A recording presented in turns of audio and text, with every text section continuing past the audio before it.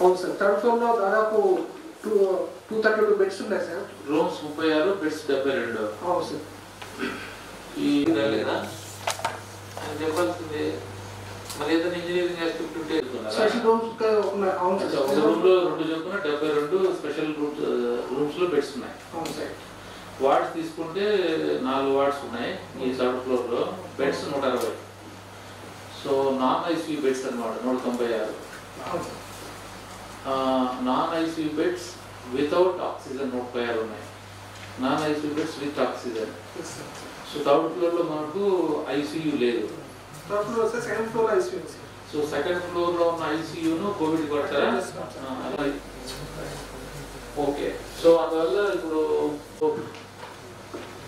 Discharge అంటే ఇప్పుడు fourteen days seven డేసా టెన్ డేసా టెన్ డేస్ తర్వాత చేస్తున్నాం సార్. నెగిటివ్ అయిన తర్వాత ఒకసారి డిశ్చార్జ్ నెగిటివ్ అయిన తర్వాత సెకండ్ టెస్ట్ చేసా వితౌట్ సెకండ్ టెస్టా సెకండ్ టెస్ట్ చేసిన తర్వాత డిశ్చార్జ్ చేస్తున్నాం నెగిటివ్ అయిన తర్వాత డిశ్చార్జ్ అది ఏదైతే మనకు ప్రోటోకాల్ ఉందో మన హాస్పిటల్కి అడ్మిట్ అయిన తర్వాత ఇన్ పేషెంట్కి వచ్చిన తర్వాత అది కంపల్సరీగా అది పాటించండి. So as a no third ఫ్లోర్తో మనం మేనేజ్ చేయగలుగుతాము. ఐసీయూ జరుగు సెకండ్ ఫ్లోర్లో వాడతాము. తర్వాత సపోజ్? కొద్దిగా ఇంక్రీజ్ అయినాయి ఇంకో కేసులో. కొద్దిగా లెస్ క్రిటికల్ కేసులు ఏమన్నా? రిసార్ట్ క్వార్టర్స్ ఉంది సార్. రిసార్ట్ క్వార్టర్స్ అది అందులో ఒక హండ్రెడ్ బెడ్స్ ఉన్నాయి సార్. బెడ్స్ అన్ని సక్రమంగా ఉండడం ఇవన్నీ మీరు రెడీగా ఉన్నాయా? ఏమన్నా ఒకసారి చూసుకొని గేరప్ చేయాల్సిన అవసరం ఉందా? ఇప్పుడు ప్రజెంట్ హౌసెస్ కొంతమంది ఉన్నారు సార్. వాళ్ళు వెకేట్ చేసిన తర్వాత అంటే ఇప్పుడు చెప్తున్నది అదే ముందు కీస్ ఇంకా పాజిటివ్ పేషెంట్స్ మనం ఆ బ్లాక్లో పెట్టదలుచుకున్నప్పుడు అక్కడ ఎవరు వేరే వాళ్ళు ఉండడం బాగోదు కదా. అందువల్ల అక్కడ ఎవరన్నా ఆక్యుపేషన్లో ఉంటే పిల్లలు వాళ్ళందరికీ one or two days time ఇచ్చి let them vacate and go. మరి ఎంచుకొని చేయండి. So I'm giving three days time. మళ్ళీ మీరు నాకు రిపోర్ట్ చేయాలి? ఎస్ఆర్పీ వెరిఫై చేసి ముందు ఏమన్నా రిక్వైర్మెంట్స్ ఉంటే ఈయన కూడా రమ్మంటే చెప్తాను. ఏదైనా ఉంటే చేస్తాను. రైట్. రెడీ పెట్టుకోవాలి మనం. చెప్పలేను రైట్. తర్వాత సోషల్ ఎంపవర్మెంట్ సెంటర్లో ఆక్సిజన్ ఉంది కాబట్టి మనకు అది కూడా మన కంట్రోల్లో పెట్టుకోవడం మంచిది. సో అక్కడ మన బెస్ట్ పాయింట్ ఆఫ్ వ్యూలో ఈ లెక్కన నాకు లెక్క ఏంటంటే ఈ ఎస్ఆర్పిలో నూట ఇరవై నూట ఇరవై నూట ఇరవై ఎనిమిది ఇందాక. నూట ఇరవై అక్కడేమో ఒక రెండు వందల టూ హండ్రెడ్. టూ హండ్రెడ్ ఇది ఒక one hundred and twenty three hundred and twenty five seventy so ఆ, తర్వాత yeah correct so non IC beds with oxygen yes మొత్తం మీద మూడు వందల అరవై రెండు. నాన్ ఐసీ వితౌట్ ఆక్సిజన్ నూట యాభై ఐదు.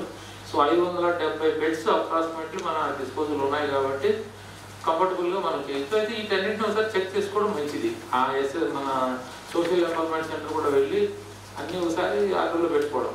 అది కొంచెం ఆర్డర్లోనే ఉంది సార్. రీసెంట్ వర్క్ మన దగ్గర ఉంది.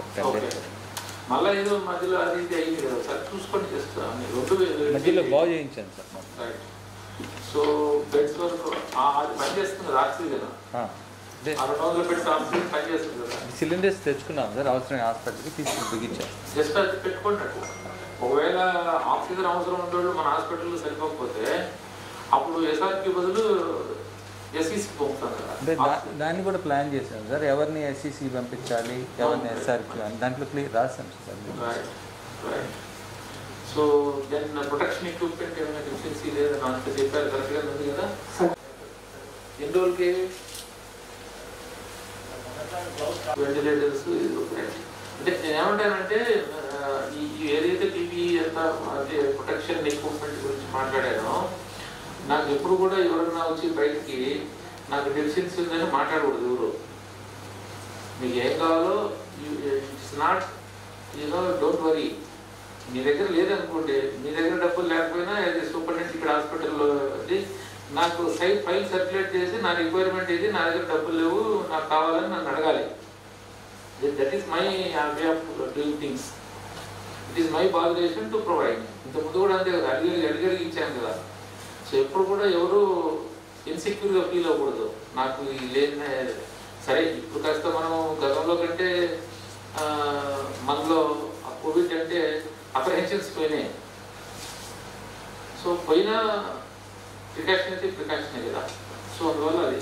Then what about drugs for covid requirement అంత సఫిషియెంట్ ఉన్నాయా? Quantity for three months surgicals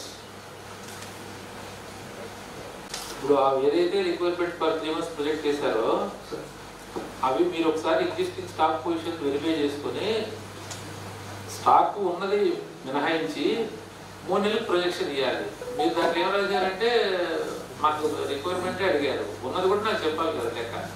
so file పెట్టేటప్పుడు అలా చెప్పండి. మీరు ఫైల్ సర్క్యులేట్ చేస్తారు కదా. సో ఉన్న స్టాక్ ఇది.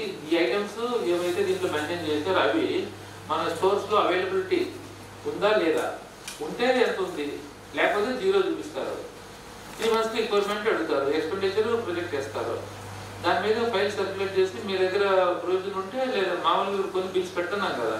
ఇప్పుడు మున్సిపల్ కార్పొరేషన్ అడగం మీ స్టాఫ్ అంతా రీస్టోర్ చేస్తున్నా. కోవిడ్లో అయితే వచ్చారు. శానిటైజర్ కూడా కొంతమంది వచ్చారు. అది కూడా రీస్టోర్ చేస్తున్నా. సో అందువల్ల మీరు ఏం చేసుకోవాలంటే అవసరాన్ని పెట్టుకొని ఎంపవర్మెంట్ సెంటర్ దగ్గర ఎస్ఆర్పి దగ్గర కూడా మీరు డిప్లాయ్ చేసుకుని you have to manage your sanitiser I don't task municipal commissioner you should bring to my notice ఏదైనా ఇష్యూ ఉంటే నా దృష్టికి రావాలంటున్నాను. I'm there to resolve the issue